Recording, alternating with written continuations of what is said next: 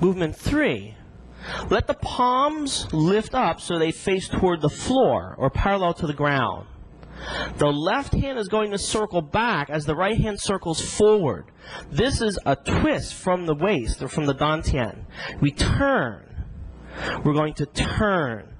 As you turn, bring the left foot forward. Bring the right toe in.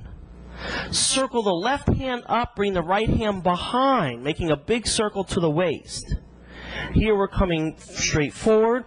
We're in our equatorial stance. We finish with a single palm change. So we come through, underneath, come forward, step, and finish with a single palm change.